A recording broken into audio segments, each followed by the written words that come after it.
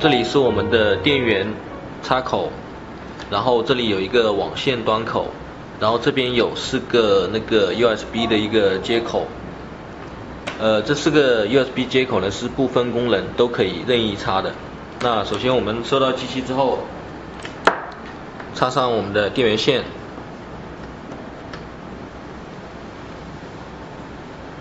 如果有必要可以插上我们的网线，把机器联网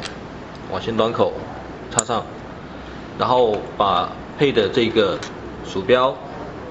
插任意一个 USB 口。还有我们的键盘，键盘也可以任意插那个 USB 口。OK，连接好之后，我们打开开关电源，灯亮就行了。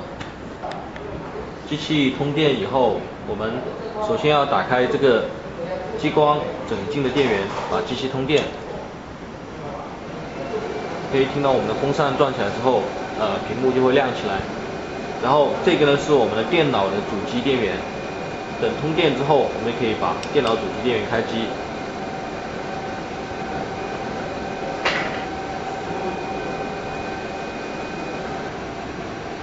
开机之后，因为我们这个是所有的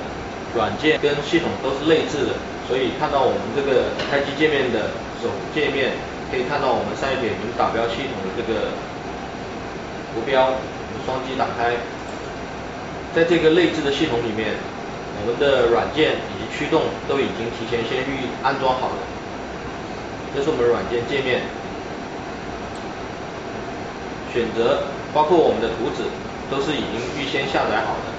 只有后期在需要更新的时候，我们点击一键更新，在联网状态下，我们点击一键更新就可以把后期新增的图纸下载下来了。那选择我们需要标刻的品牌跟型号，比如说我们现在选择苹果，呃，选择苹果八 P，点击加载图纸，那这时候我们那个图已经出来了，放上我们所需要雕刻的手机壳，放在这里。点击自动对焦，寻找它的焦距，一直到我们的焦距指示灯亮为止。焦距指示灯亮，拿出我们所要雕刻的，放到我们的夹具位，然后点击红光预览，OK 没问题，我们可以直接开始点击标刻。Oh baby tell me What can I do? My heart is burning Wanna be close to you Take my hand till the end For you I will never surrender